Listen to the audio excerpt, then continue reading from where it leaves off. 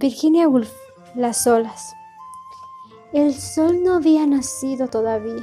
Hubiera sido imposible distinguir el mar del cielo, excepto por mil pliegues ligeros de las ondas que le hacían semejarse a una tela arrugada. Poco a poco, a medida que una palidez se extendía por el cielo, una franja sombría separó en el horizonte al cielo del mar, y la inmensa tela gris se rayó con grandes líneas que se movían debajo de su superficie, siguiéndose una a otra, persiguiéndose en un ritmo sin fin. Al aproximarse a la orilla, cada una de ellas adquiría forma, se hinchaba y se rompía arrojando sobre la arena un delgado velo de blanca espuma. La ola se detenía para alzarse enseguida nuevamente suspirando como una criatura dormida cuya respiración va y viene inconsistentemente. Poco a poco, la franja oscura del horizonte se aclaró.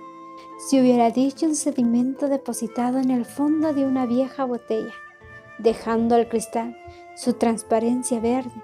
En el fondo, el cielo también se hizo translúcido, cual si el sedimento blanco se hubiera desprendido o cual si el brazo de una mujer tendida debajo del horizonte hubiera alzado una lámpara, y bandas blancas, amarillas y verdes se alargaron sobre el cielo, igual que las varillas de un abanico. Enseguida, la mujer alzó más alto su lámpara, y el aire pareció dividirse en fibras, desprenderse de la verde superficie en una palpitación ardiente de fibras amarillas y rojas como los resplandores humeantes de un fuego de alegría. Poco a poco, las fibras se fundieron en un solo fluido, en una sola incadencia que levantó la pesada cobertura gris del cielo, transformándola en un millón de átomos de un azul tierno. La superficie del mar fue adquiriendo gradualmente transparencia y yació ondulando y despidiendo destellos hasta que las franjas oscuras desaparecieron casi totalmente. El brazo que sostenía la lámpara se alzó todavía más alto, lentamente. Se alzó más y más alto hasta que una inmensa llama se hizo visible. Un arco de fuego ardió en el borde del horizonte y a su alrededor el mar ya no fue sino una sola extensión de oro. La luz golpeó sucesivamente los árboles del jardín, iluminando una tras otra las hojas que se tornaron transparentes. Un pájaro gorgojeó muy alto. Hubo una pausa. Más abajo, otro pájaro repitió su gorgojeo.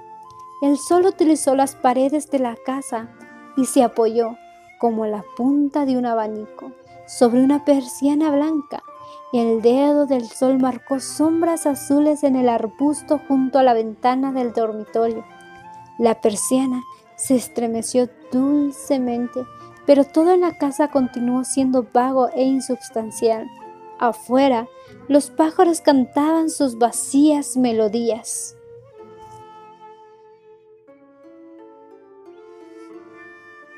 Veo un anillo suspendido encima de mí, dijo Bernardo, un anillo que tiembla suspendido en un nudo de luz.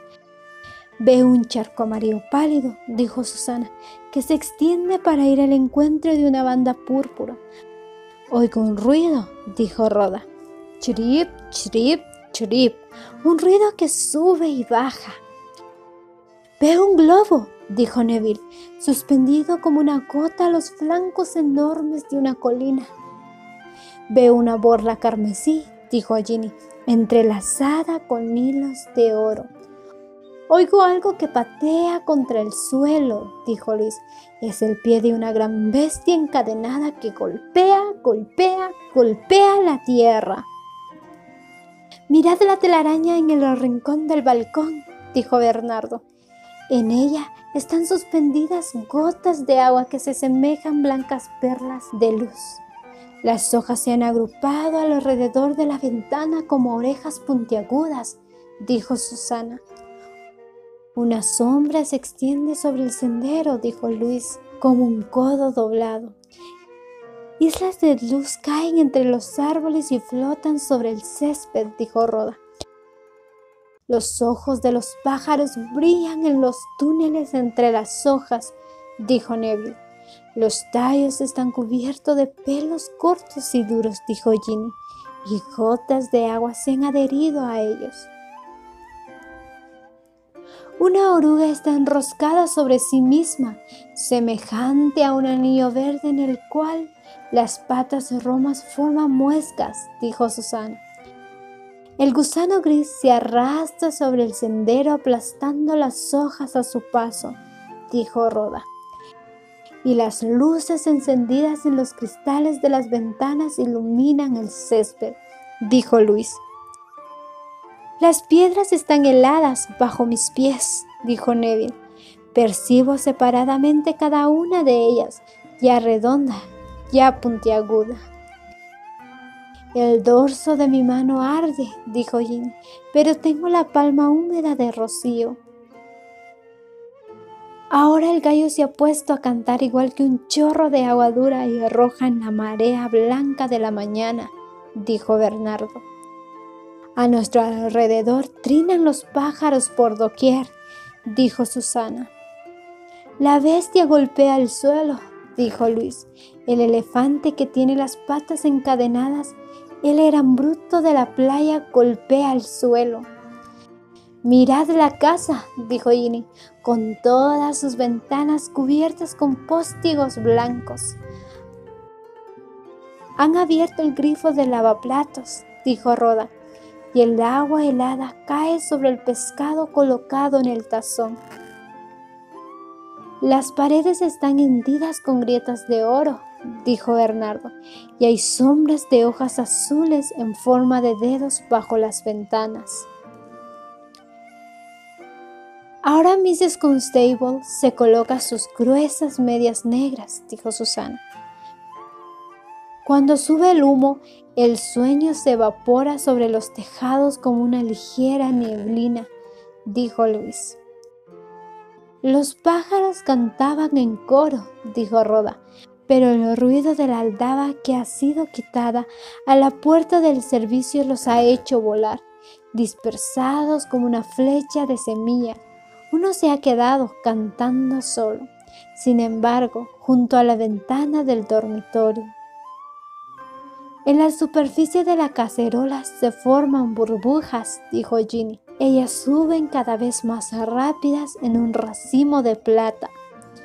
Sobre la mesa de la cocina, Biddy quita las escamas de los pescados con cuchillos. Tentado, dijo Neville. La ventana del comedor se ha tornado de un azul oscuro, dijo Bernardo, y el aire caliente vibra encima de la chimenea. Una golondrina se ha posado sobre el pararrayos, dijo Susana, y Biddy ha vaciado ruidosamente el balde sobre las baldosas. Ha sonado la primera campana de la iglesia, dijo Luis. Luego siguen las demás, una, dos, una, dos. Mirad cómo el mantel inunda la mesa, semejante a una ola blanca, dijo Roda un disco de porcelana blanca subrayado por un doble trazo de plata es colocado ahora en cada lugar. Una abeja zumba junto a mi oreja, dijo Neville. Aquí está, pero ya se ha ido. Mi cuerpo arde y se estremece al pasar bruscamente del sol a la oscuridad, dijo Ginny.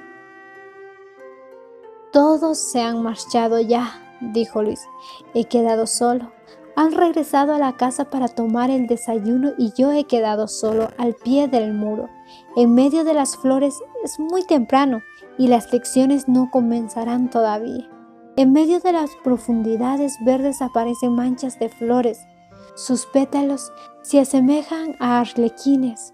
Los tallos emergen de entre huecos negros de la tierra. Las flores nadan como peces de luz sobre las sombrías aguas verdes. Tengo un tallo en mi mano. Yo mismo soy un tallo y mis raíces llegan hasta las profundidades del mundo, a través de la tierra seca de ladrillo y a través de la tierra húmeda. a través de venas de plomo y plata. Mi cuerpo no es sino una sola fibra. Todas las sacudidas repercuten en mí y siento el peso de la tierra contra mis costados. Bajo mi frente, mis ojos son ojos verdes ciegas. Aquí no soy sino un niño vestido con un traje de franela gris y tengo un cinturón de cuero con una hebilla de cobre que representa una serpiente pero allá abajo, mis ojos son los ojos sin párpados de una figura de granito en un desierto junto al Nilo. Veo a mujeres que se dirigen con cántaros rojos hacia el río. Veo camellos que se balancean y hombres con turbantes. A mi alrededor percibo ruido de pasos, temblores, agitaciones. Aquí arriba, Bernardo, Neville, Ginny y Susan, todos menos a Roda, rozan los parterres con sus redes para cazar mariposas y espantan a las mariposas posadas sobre los caracoles temblorosos de las flores. Ellos arrasan la superficie del mundo. Sus redes están llenas de alas palpitantes. ¡Luis! ¡Luis! ¡Luis! Gritan, pero no pueden verme. Estoy al otro lado del seto. Solo hay pequeños resquicios entre las hojas. Oh Señor, haced que se marchen de aquí. Señor, haced que desplieguen sus mariposas sobre sus pañuelos en medio de la arena. Que cuenten a gusto sus mariposas color tortuga, sus mariposas rojas, las blancas. Pero haced que yo permanezca invisible. Yo soy verde como un tejo aquí, a la sombra del seto. Mis cabellos son hojas mis raíces llegan hasta el centro de la tierra, mi cuerpo es un tallo.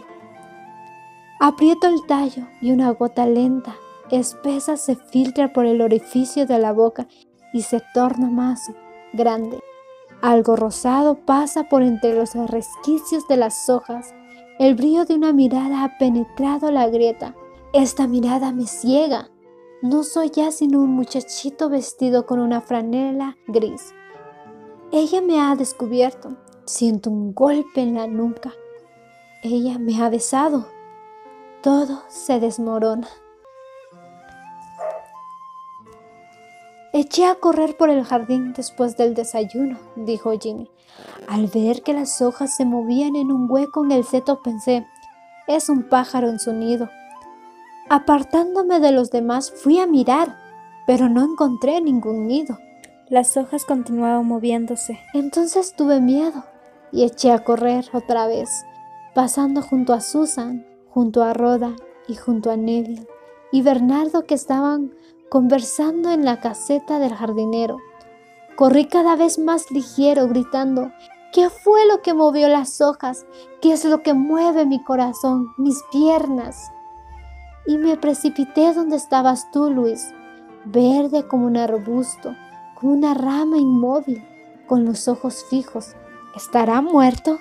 Pensé y te besé mientras mi corazón brincaba bajo mi traje rosado, como las hojas que se mueven sin cesar, incluso cuando no hay nada que las agite. Siento ahora el perfume de los geranios, siento el olor a tierra húmeda, me pongo a danzar como una burbuja, me siento lanzada sobre ti, una red de luz que te envuelve todo entero y queda vibrando sobre ti. A través de la grieta del seto, yo vi a Ginny besarle, dijo Susana. Al alzar mi cabeza inclinada sobre el macetero de flores y mirar a través de la grieta, vi cómo le besaba. Los vi a ambos, a Ginny y a Luis besándose.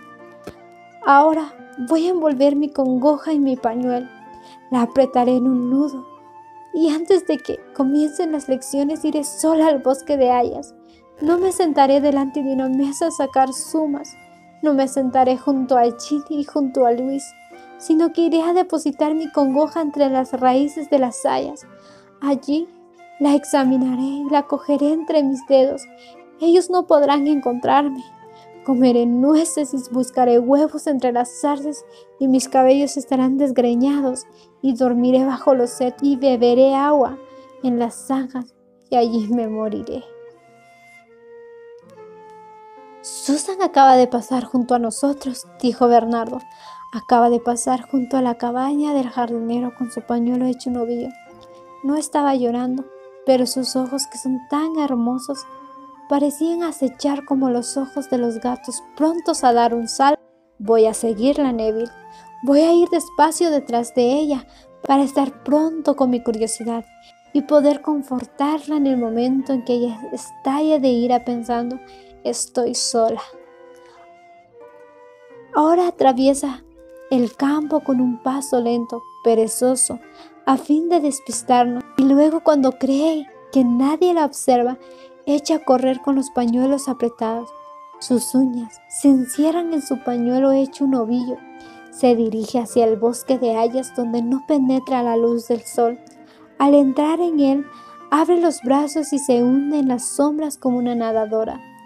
Pero como viene cegada por la luz, tropieza y cae entre las raíces de los árboles donde la luz va y viene en una palpitación sin fin.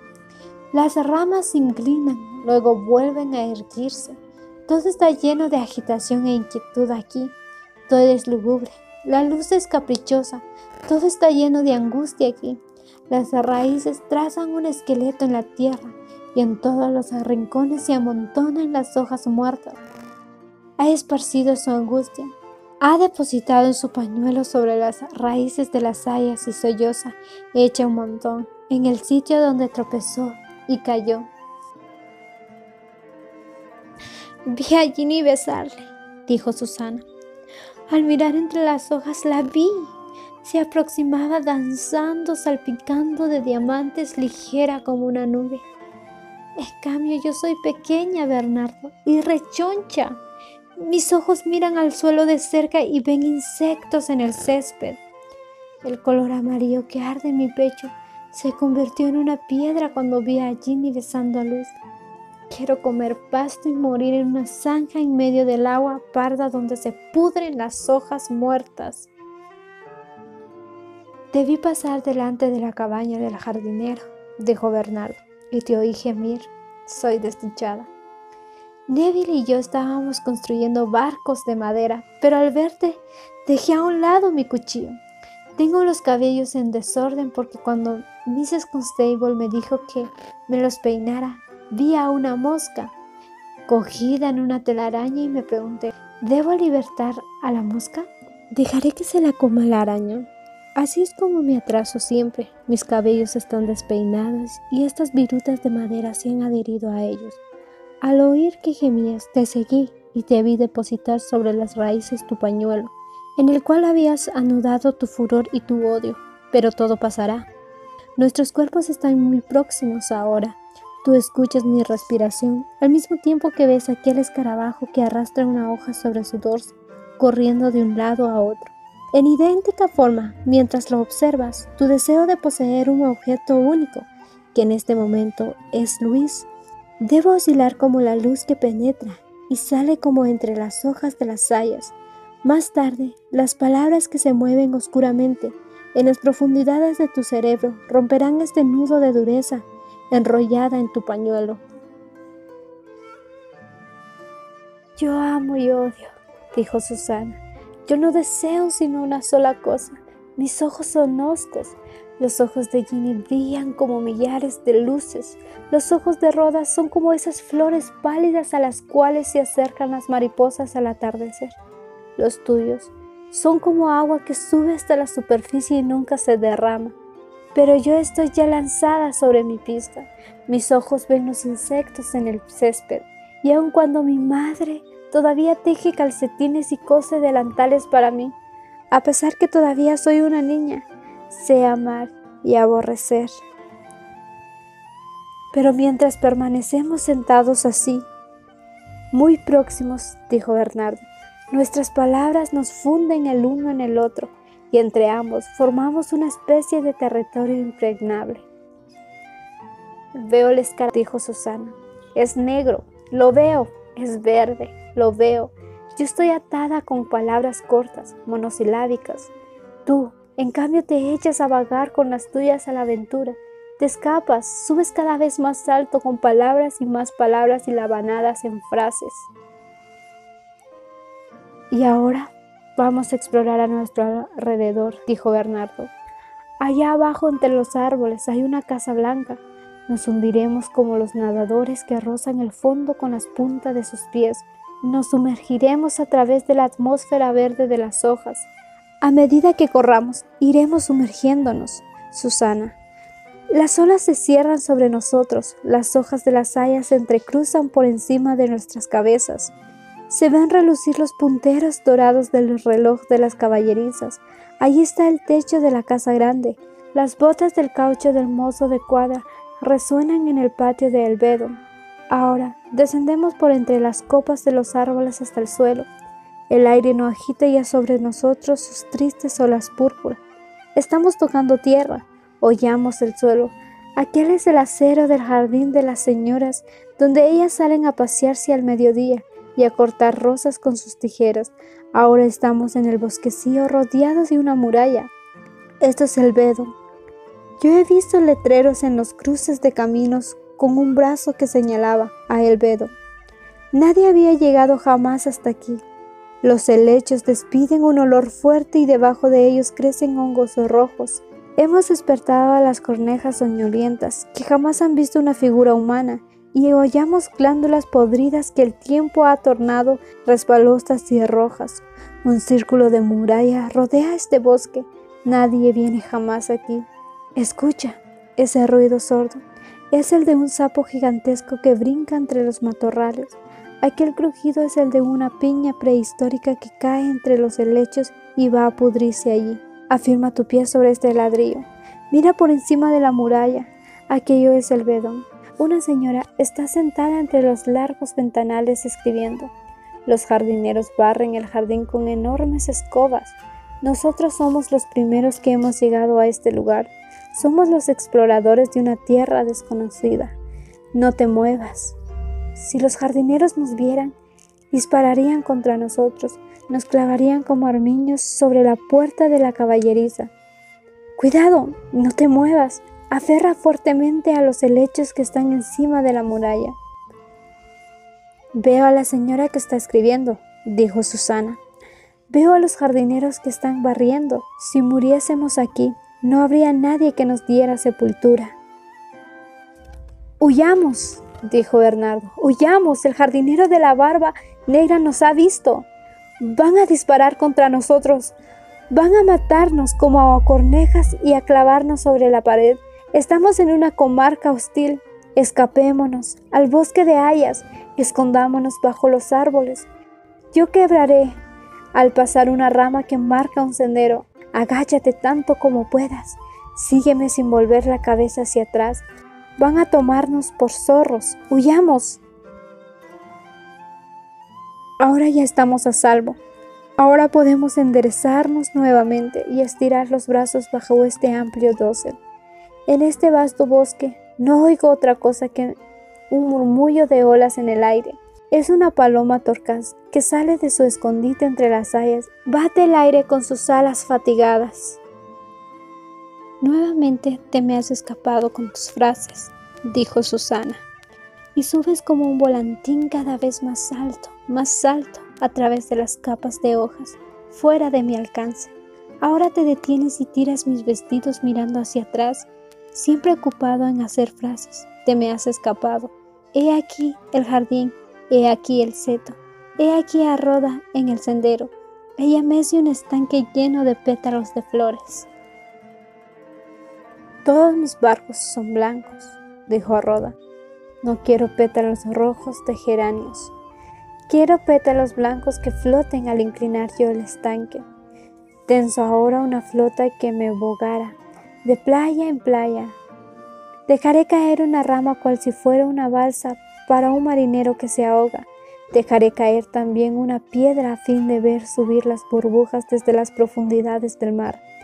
Neville y Susan se han marchado. Ginny está en la huerta recogiendo grosellas en compañía de Luis, quizás.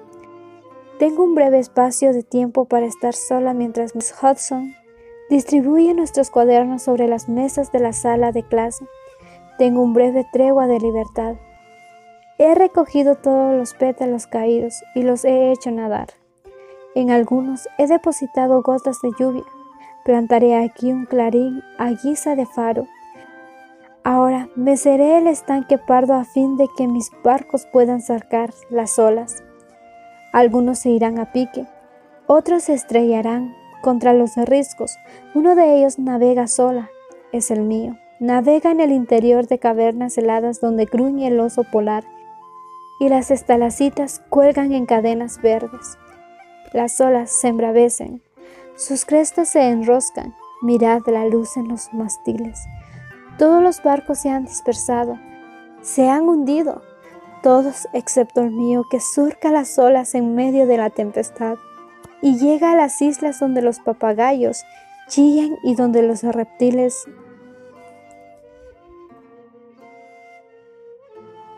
¿Dónde está Bernardo? dijo Neville. Él tiene mi cuchillo. Estábamos en la caseta del jardinero haciendo barcos cuando Susan pasó junto a la puerta.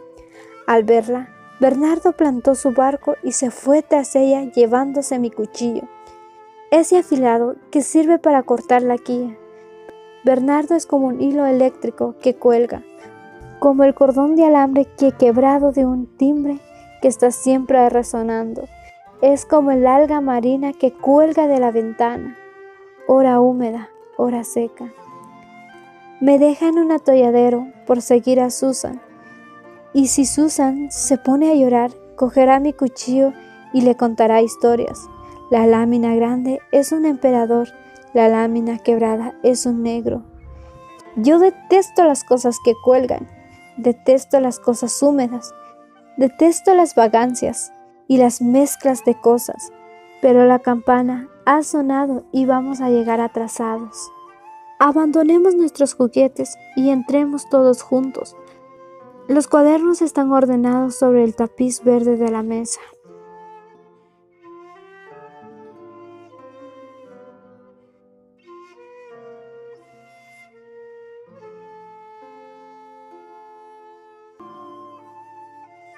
No conjugaré el verbo hasta que no lo haya hecho Bernardo, dijo Luis.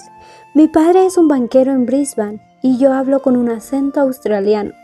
Voy a esperar que lo haga Bernardo y enseguida le imitaré. Él es inglés, todos son ingleses. El padre de Susana es un campesino. Rodan no tiene padre. Bernardo y Neville pertenecen a familias distinguidas. Ginny vive con su abuela en Londres.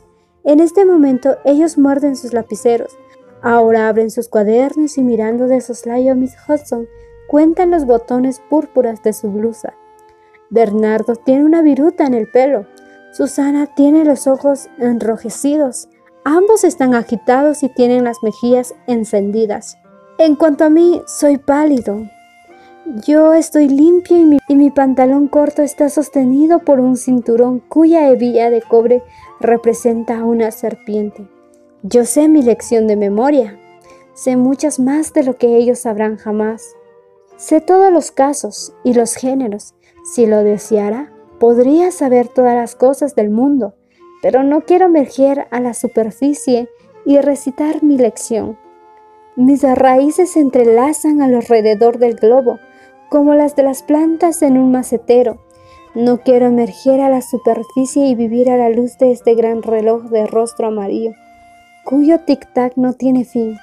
Jenny y Susana, Bernardo y Neville se entrelazan en una correa para fustigarme.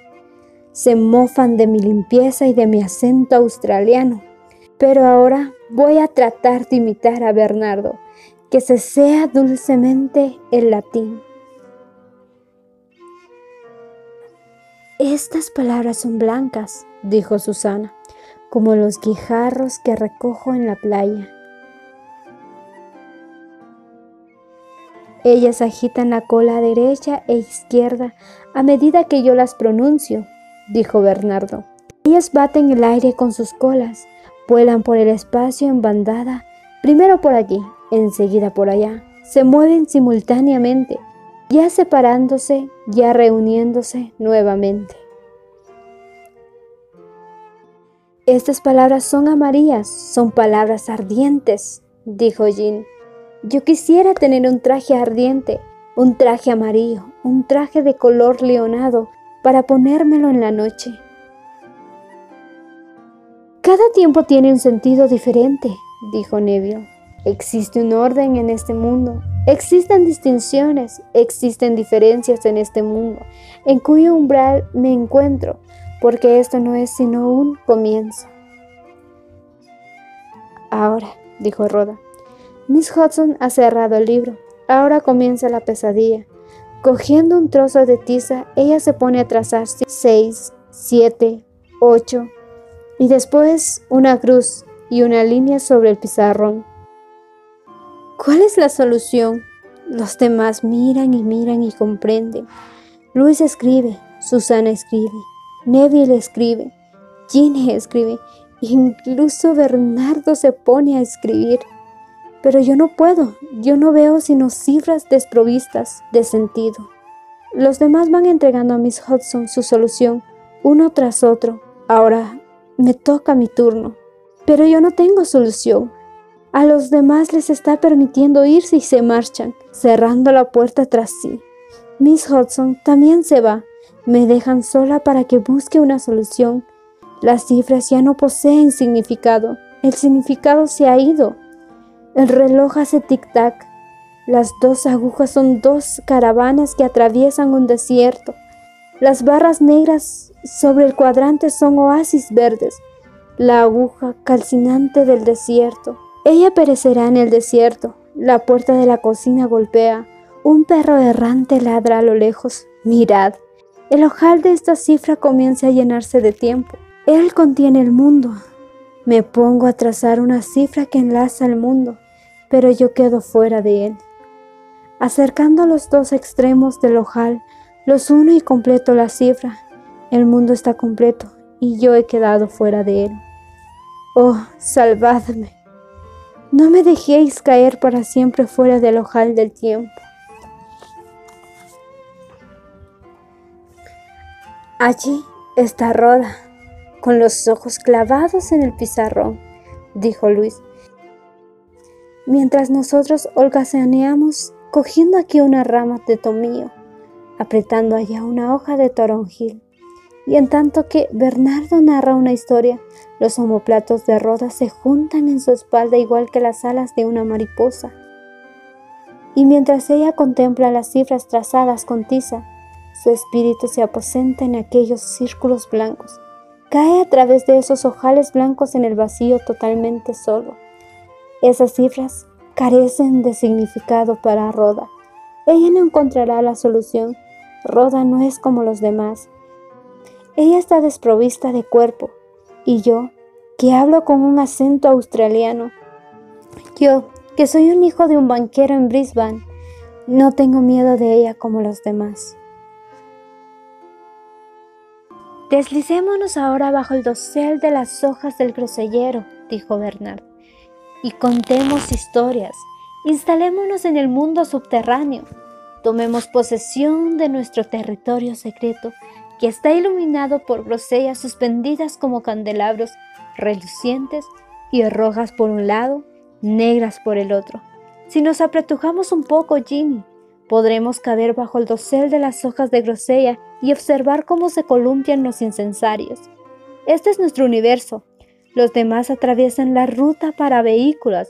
Las polleras de Mid Hudson y de Miss Curry se deslizan como apagadelas sobre el suelo. Aquellos son los calcetines blancos de Susana, aquellos son las sandalias siempre tan limpias de Luis. Ellas van dejando su firme huella sobre la arena, hasta que aquí llegan ráfagas tibias de hojas en descomposición, de vegetación podrida. Estamos aquí en un pantano, en una jungla infestada de malaria. Allí, cubierto de un tapiz de gusanos blancos, hay un elefante que fue muerto por una flecha disparada entre sus ojos, ojos brillantes de aves de rapiña, águilas, buitres. Surgen por todas partes, nos confunden con hojas caídas, picotean un gusano, que es una cobra con caperuza, y lo abandonan allí mismo con una úlcera parda y purulenta a fin de que sea destruido por los leones. Este es nuestro universo, iluminado con medias lunas y estrellas de luz, y grandes pétalos semitransparentes bloquean las aberturas, como vitrales purpúreos. Todo es extraño aquí. Las cosas son inmensas o muy pequeñas. Los tallos de las flores son gruesos como robles. Las hojas son altas como cúpulas de enormes catedrales. En cuanto a nosotros, somos gigantes que pueden hacer estremecerse las selvas. Lo que estás diciendo es verdad aquí, donde estamos, dijo Ginny. Y en este momento, pero pronto nos marcharemos. Pronto Miss Curry tocará su silbato y tendremos que separarnos. Tú irás al colegio, tendrás profesores que ostentarán cruces en el pecho y corbatas blancas. Yo iré a un internado de Ace Coast donde tendré una maestra que se sentará debajo de un retrato de la reina Alejandra, porque ahí es donde iremos Susana, Roga y yo. Lo que tú dices no es verdad, por consiguiente, sino que aquí, en este momento. En este momento estamos tendidos debajo del grosellero, y cada vez que se agita la brisa, ella proyecta sobre nosotros sombras multicolores. Mi mano es como la piel de una serpiente, mis rodillas son rosadas, islas flotantes. Tu rostro es como un manzano cubierto de una fina redecilla. El calor comienza a atenuarse en la jungla, dijo Bernard. Las hojas columpian sus alas negras sobre nosotros. El silbato de mis curry ha resonado en la terraza. Debemos deslizarnos fuera del pabellón formado por las hojas de grosella y enderezarnos. Tienes ramitas prendidas a tus cabellos, Ginny, y un gusano verde en el cuello. Debemos ir a formar fila de dos en dos. Miss Curry va a llevarnos a dar un breve paseo mientras Miss Hudson arregla sus cuentas en el escritorio.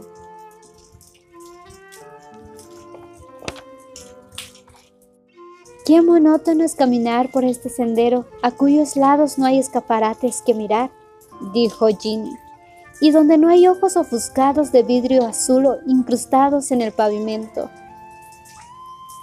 Debemos formarnos de a dos, dijo Susana, y caminar en orden sin arrastrar los pies, sin quedarnos atrás dejando que Luis se nos adelante para guiarnos, porque Luis es alerta y no un soñador. Puesto que soy demasiado delicado para ir con ellos, dijo Neville, puesto que me fatigo demasiado pronto, y caigo enfermo de cualquier cosa. Voy a aprovechar de esta hora de soledad y de esta tregua de silencio para recorrer los alrededores de la casa y reponerme, si es que puedo, de la impresión que experimenté al oír a través de la puerta giratoria, aquello del hombre muerto anoche, cuando la cocinera estaba removiendo los apagadores de la cocina. Lo habían encontrado degollado las hojas de los manzanos se inmovilizaron contra el cielo. La luna se quedó mirando con un ojo fijo y yo no pude mover mi pie del peldaño. Lo encontraron en la alcantarilla, por la que corría su sangre. Tenía la mejilla blanca como un pedazo de bacalao. La muerte bajo el manzano. Ese es el nombre con la que yo designaré para siempre, en lo sucesivo, esta contracción, esta rigidez, Allí estaban las nubes grises y flotantes y el árbol clavado, el árbol implacable con su corteza de plata cincelada. El borbollón de mi vida era infructuoso. Yo no podía pasar al otro lado. Había un obstáculo. No puedo vencer este obstáculo incomprensible, me dije. Los demás, sin embargo, pasaron, pero todos estábamos condenados, todos nosotros por la maldición de los manzanos por el árbol enclavado que no podremos pasar. Pero ya la rigidez, la contracción se han desvanecido y yo proseguiré mi ronda por los alrededores de la casa en este crepúsculo. A esta hora en que el sol traza manchas oliginosas sobre el linoleo y un rayo de luz se incrusta en la pared, haciendo aparecer las patas de las sillas como si estuvieran quebradas. Vi a Florie en la huerta, dijo Susana, al regresar de nuestro paseo mientras la ropa recién lavada, los pijamas, calzones y camisas de noche, se agitaban en los cordeles a su alrededor y Ernesto la besó. Él acababa de limpiar la platería y tenía puesto todavía su delantal de hule verde. Su boca estaba hinchada y arrugada como una bolsa y cogió a Florie entre sus brazos en medio de los pijamas que flotaban al viento. Parecía un toro ciego. Ella desfallecía, llena de angustia y pequeñas venas rojas se diseñaban sobre sus pálidas mejillas. Ambos circulan ahora a nuestro alrededor, pasándonos platos cargados de pan con mantequilla y tazas de leche. Pero yo veo una hendidura en el suelo, la que sube un vapor caliente y la tetera del té ruge como rugía Ernesto, y yo floto al viento, igual que los pijamas, aún en este momento en que mis dientes se encuentran en mi blando pan untado de mantequilla y lamo la leche dulce. Yo no tengo miedo del calor ni del invierno glacial. Roda sueña sorbiente una corteza empapada en leche. Luis fija sobre la pared de enfrente sus ojos verdes como un gusano. Bernardo hace pelotillas con el pan y las denomina personas. Neville, en sus modales correctos y precisos, ya ha concluido su merienda, ha doblado la servilleta y la ha metido dentro de su argolla de plata. Ginny hace pirutear sus dedos sobre el mantel como si estuviera bailando al sol. Pero yo no tengo miedo del calor ni del invierno glacial. Ahora, dijo Luis, todos nos ponemos de pie. Miss Curry extiende el libro negro sobre el armonio se hace difícil no llorar cuando entonamos himnos rogando a Dios que vele nuestro sueño y hablamos de nosotros como de niñitos. Cuando estamos tristes y temblamos de aprensión, es dulce cantar todos juntos, apoyándonos ligeramente los unos en los otros. Yo en Susana, Susana en Bernardo, con las manos enlazadas temerosas de muchas cosas. Yo de mi acento, Roda de las cifras, y sin embargo todos resueltos a conquistar y a vencer. Ahora trotamos escaleras arriba como una manada de ponis, dijo Bernardo, pateando, reclamando con gran algazara nuestro turno en el cuarto de baño. Discutimos, armamos grescas y brincamos sobre nuestros lechos duros y blancos. Pero ha llegado mi turno y paso al baño. Miss Constable con una toalla atada alrededor de su cintura, coge su esponja color limón y la humedece en el agua. Al empaparse del líquido, la esponja adquiere un color chocolate. Miss Constable la alza muy alto y la oprime por encima de mi cuerpo que se estremece. El agua se desliza por el arroyuelo de mi espina dorsal. Brillantes flechas de sensación rebotan a ambos lados de mi cuerpo. Estoy cubierto de carne tibia. El agua se desliza por todas las hendiduras de mi cuerpo, haciéndolo resplandecer. El agua desciende y me envuelve como un águila. Ahora me envuelven toallas calientes. Me envuelven en su aspereza y al sentar su afrontamiento en mi espalda, mi sangre arronronea como un gato satisfecho. Sensaciones poderosas y pesadas se forman en el tejado de mi pensamiento. Por él desciende como una llovizna el día, los bosques y el vedo, Susana y las palomas, deslizándose por las murallas de mi pensamiento, corriendo paralelamente, cae el día copioso, resplandeciente. Ahora cierro alrededor de mi cintura el cordón de mi pijama y metiendo debajo de esta delgada sábana que flota en claridad difusa como una capa de agua que una ola hubiera extendido sobre mis ojos. Lejos, muy lejos, percibo a través de ella, débil y remoto, el coro que comienza. Ruedas, perros, hombres que gritan, campanas de iglesias. El coro nocturno ha comenzado.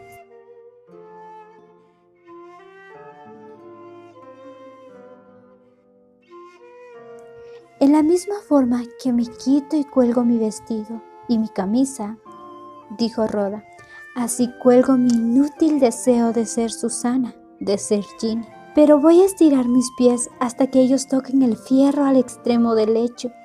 Tocando el fierro confirmo la presencia reconfortante de algo duro. Ahora ya no puedo hundirme, no puedo sumirme a través de la delgada sábana. Ahora extiendo mi cuerpo sobre este frágil colchón y quedo suspendida por encima de la tierra. Ya no estoy de pie, expuesta a recibir golpes, expuesta a que me hagan daño. Todo es suave, todo es blando, Las paredes y los pizarrones palidecen e inclinan sus cuadriláteros amarillos, por encima de los cuales resplandece un pálido cristal. Mi espíritu puede ahora desprenderse de mi cuerpo. Puedo pensar en mis armadas que surcan las altas olas. Estoy al abrigo de los contactos ásperos y de las colisiones. Navego sola al pie de arcifes blancos. Oh, pero me hundo, me caigo. Aquella es la esquina del pizarrón, aquel es el espejo de la Nursery, pero ellos se alargan, se alejan, me hundo ahora en las plumas negras del sueño. Sus espesas alas oprimen mis párpados. Viajando a través de la oscuridad, veo parterres de flores y a Miss Constable, que aparece corriendo a la vuelta de la esquina para decirme que mi tía ha venido a buscarme en un coche. Yo subo a él y me escapo con ayuda de unas botas de tacones muy altos. Trepo a la copa de los árboles, pero ahora he caído en el coche a la puerta del vestíbulo, donde mi tía está sentada inclinando sus plumas amarillas con unos ojos duros como bolitas heladas. Oh, si yo pudiera despertar de mis sueños, mirad ahí está la cómoda, dejadme salir de estas aguas, pero las olas se precipitan sobre mí, me arrastran sobre sus inmensos hombros, me hacen dar tumbos, me arrollan. Estoy extendida entre estas largas luces, entre estas largas olas, entre estos interminables senderos donde la gente me persigue, me persigue,